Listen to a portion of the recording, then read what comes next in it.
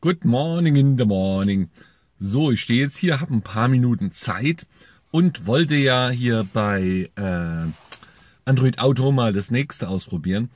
Äh, letztes Mal habe ich ja ausprobiert äh, Podcast hören, weil ich ein richtiger Podcast-Hörer bin und äh, habe ja auch ganz viele Tipps gekriegt in den Kommentaren, sehr lieb, danke. Und es gab aber auch so ein paar Tipps, die wollten mich auf eine falsche Pferde, Pferde führen, glaube ich. und zwar, ja, es geht auch wireless, aber bei mir ja leider nicht. Äh, wireless geht, glaube ich, mal grundsätzlich bei den iPhones. Ich weiß es nicht so genau, aber ich habe ja eh ein Android und da geht Wireless auch, aber erst ab einer bestimmten Version, soweit ich weiß. Äh, will jetzt da nichts Falsches sagen, aber ich habe eine Samsung S7 und das hat damals aufgehört bei 6, 7 Nutella oder ich weiß gar nicht mehr, wie das damals hieß. Bei der irgendeiner Android hat es aufgehört zu aktualisieren und bin immer noch glücklich mit meinem Handy. Es funktioniert bestens und äh, ja, so, solange das läuft, werde ich das jetzt auch erstmal nicht ersetzen und schon gleich gar nicht, um das mit dem Auto besser zu koppeln. Das wäre dann wirklich nur ein Nebeneffekt.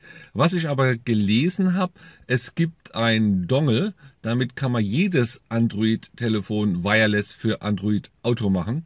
Der Dongle wird dann irgendwo beim Auto angeklemmt. Ich denke da auch da unten links, wo immer diese, dieses ODBC-Dongle angeklemmt wird. Dann verbindet das Handy sich eigentlich nur mit D, mit Bluetooth wahrscheinlich und verbindet sich dann mit dem Auto. Äh, das ist so ein Projekt, das war so ein Ground, Ground, äh, Crowd, wo also die, wo also äh, so ein Start-up-Unternehmen Geld gesammelt hat, Crowdfunding, genau so hieß es, Crowdfunding und ähm, das wird jetzt wohl auch ausgeliefert, kann man sich ja mal angucken, müsste aber googeln, habe ich jetzt nicht im Kopf. Ja, ähm, dann hatte ich letztes Mal noch beim, beim Podcast hören die Erfahrung gemacht, dass wenn man mal kurz aussteigt und einsteigt, eine Erledigung macht, zehn Minuten, wo man das Handy auch mitnimmt, ja, das da wieder anzustöpseln und sowas, das, das macht mir keinen Spaß. Also das werde ich in Zukunft einfach so handeln, dass ich nur auf längeren Fahrten, wo ich, sage ich mal, allein unterwegs bin, äh, das mit Android Auto koppel weil es dann doch schöner ist, wenn man mehr wie eine Episode hört, wie einen Podcast, dass man sich das dann aussuchen kann und anklicken kann. Aber über die, aber wenn man einfach nur eine Viertelstunde fährt oder so, äh, dann lohnt sich nicht. Da höre ich es einfach mit Bluetooth und, und fertig. So, aber für lange Strecken äh, höre ich nicht nur Podcasts, sondern auch Hörbücher ja, in letzter Zeit ein paar weniger, weil ich so viele Podcasts habe. Äh, meine Hör Hörbücher höre ich mit Audible. Audible ist ein Dienst von Amazon. Da zahle ich, ich glaube, 10 Euro im Monat und kann man dann monatlich ein Hörbuch auch aussuchen.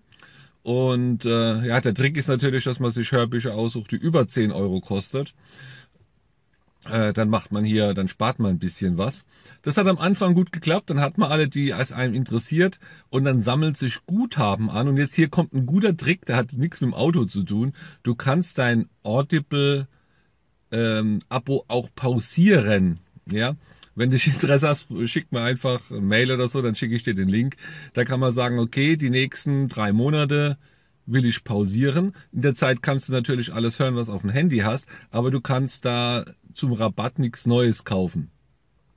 Und wenn du das dreimal im Jahr machst oder viermal oder so, ich weiß gar nicht, wie oft das überhaupt dann, dann geht, muss vielleicht immer einen Monat laufen, bis man pausiert, ja, dann hast du im Monat halt nur 30 oder 40 Euro oder sowas Gebühr und kannst da halt auch nur drei oder vier raussuchen, aber halt keine zwölf. Zwölf sind schon viel auf, auf Dauer. Da muss man schon eisenharter Hörer sein.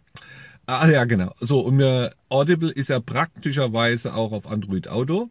Also es ist ja aber ich muss, ich habe noch gar nicht auf dem Handy geguckt, was für Apps da überhaupt zugelassen sind und, und welche man noch nehmen kann. Ich habe jetzt einfach mal so wie es ist äh, hier das Android Audio im ID3 ausprobiert und Audible sehe ich jetzt halt auch und deswegen äh, gehe ich jetzt mal auf Audible. Ich habe auch ein einziges Hörbuch drauf. Ich habe da nicht zu viele lokal auf dem Handy, weil ihr wisst, altes Handy, wenig Speicher, kann da nicht einfach zehn Stück draufladen, dann wäre der Speicher voll. Ich habe da genau eins und dann schalte ich jetzt mal um. Ja, so schaut's aus, mein schönes Android-Auto. Es ist mit den Farben, kannst jetzt ein bisschen schlechter sehen. Das ist Maps, das ist Podcast, das hatten wir gestern. Und ich glaube, er sortiert die auch immer um. Also ich glaube, das, was er denkt, was man am meisten braucht, sortiert er nach oben. Sicher bin ich mir nicht. Ich müsste das alte Video gucken, wo, wo der Podcast war. Könnte er aber sein, würde er Sinn machen. Wenn, äh, Google denkt ja da gerne mal mit. So, hier ist auch Audible. Und ähm, ah ja, ich kann mir hier einen Titel und auch einen Podcast aussuchen. Ja, bei äh, Amazon gibt es auch kostenpflichtige Podcasts oder auch nicht kostenpflichtige oder wahrscheinlich beides. Und die würde man dann hier finden. Findet man aber nicht. Dann gibt es hier Titel. Der Name der Rose. Eins meiner Lieblingshörbücher und eins meiner Lieblingsfilme. Aber immer nur die Version mit, mit dem Connery äh, Finde ich wirklich toll, den Film. Gucke ich mindestens zweimal im Jahr. Hab das Buch schon durch und äh, höre auch immer wieder gern das Hörbuch. Finde ich einfach, einfach klasse. Also ist ein gelungenes Werk. Also nur als Tipp, wenn ihr mal nicht wisst, was ihr hören wollt, der Name der Rose. Aber ihr müsst vielleicht ein bisschen so ticken wie ich, ist natürlich nicht für jeden was. Den Knopf kenne ich gar nicht. Na gut, der geht direkt ins ja, äh, ja gut, er ruft es auf. Ich hätte jetzt gedacht, man ruft es anders auf. Ich habe gedacht, man ruft es hier auf. Ja, geht auch. So. Und er fängt auch gleich an zu spielen. Und äh, warte mal, ich guck mal schnell wegen lauter machen. Großer Raum, die Finsternis, so wenig Licht. Geht jetzt hier gar nicht. Doch. Regale, riesige. Also funktioniert, funktioniert auch. Ich denke, das wird alles gleich funktionieren. Ich mache es nochmal an und probiere mal hier die Tasten. Tisch, Bücher. Ja, funktioniert auch. Bücher. Vier Durchgänge. Ja, ich glaube, die laufen gerade im Labyrinth rum, ich weiß gar nicht. so, äh, hier kann ich äh, 029. Ah, da hüpft er zurück ein ganzes Kapitel oder fünf Minuten oder so irgendwas. Und hier steht jetzt Kapitel 35, 357. 36, 29. Ja, keine Ahnung. Es ist also nicht eine Kapitelsprungmarke. Es ist auch nicht eine, scheinbar nicht eine feste Zeit oder sowas. Vielleicht Stückchen zurück, Stückchen vor, was immer auch Stückchen ist. Dann haben wir das hier. Ah, hier kann man direkt zu den Kapiteln, aber ist kein Haken dran, man weiß eh nicht, wo man ist. Bringt mir nichts. Und hier Zusatzfunktionen. Ah ja, hier kann man wirklich zum Kapitel vor- oder zurückspringen. Ich bin jetzt hier bei Kapitel 36, drücke die Taste. Ja, bin immer noch bei Kapitel 36. Doch eben 35.00. Also hier kann man wohl Kapitel vor und zurück. Ja, funktioniert 36.00. Also am Anfang muss man mal zweimal drücken, weil man da wohl innerhalb eines Kapitels ist. Dann springt es vielleicht zurück an Anfang des Kapitels, dann erst aufs vorige. Und da kann man es, glaube ich, als Favorit, weiß ich nicht, Favorit oder sowas oder irgendein so Marker wird man wohl setzen können. Ja, ähm, das scheint es hier auch schon gewesen zu sein bei, bei Android Auto. So, das scheint es auch schon gewesen sein hier äh, bei Android Auto Audible.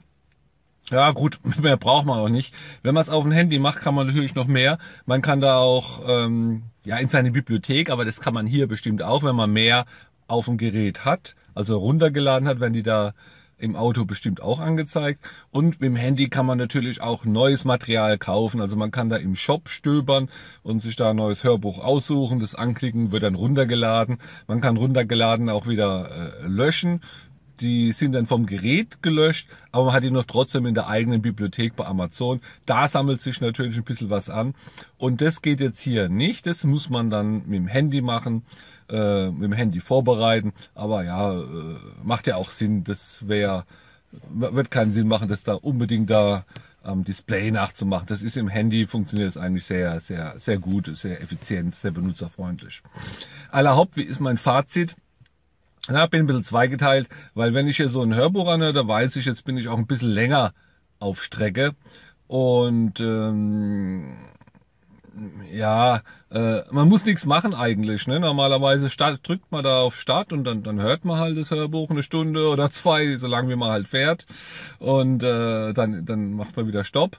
Äh, ob man das jetzt über Android Auto machen muss, also vom Ton her ist es ja theoretisch kein Unterschied, ob ich es mit Bluetooth mache oder über das Kabel hier mit Android Auto. Und äh, auch die Bedienung tritt ja auch in den Hintergrund, weil die zwei Stunden läuft's ja einfach, da ist ja nichts zu bedienen. Bei Podcasts sehe ich es vielleicht ein bisschen anders, dass man sagt, okay, jetzt will ich mal in den reinhören oder der ist doof, den will ich überspringen oder so. Da kann es schon sinnvoll sein, wenn man nicht das Handy rausholen möchte und es direkt am Autobildschirm ähm, klicken will.